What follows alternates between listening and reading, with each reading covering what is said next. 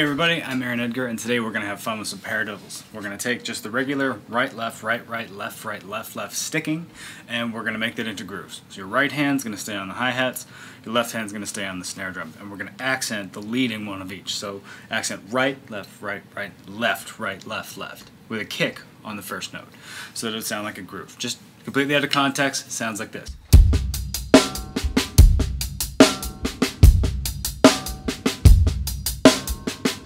Now that was in 16th notes, so you'd count one E and a 2E and a 3E and a 4E and a... Nothing really too crazy there.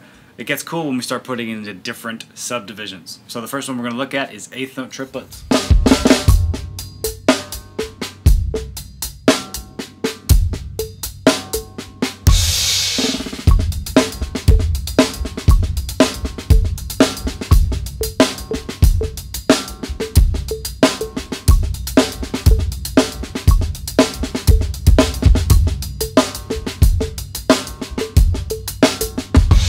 No problem, right? You got that.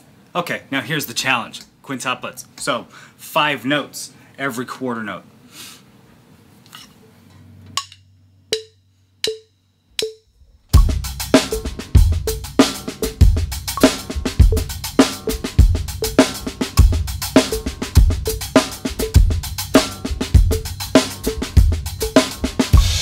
Now I highly recommend having your left foot going in quarter notes throughout this so you can help feel through all the different weird subdivisions of that. Let's speed it up too.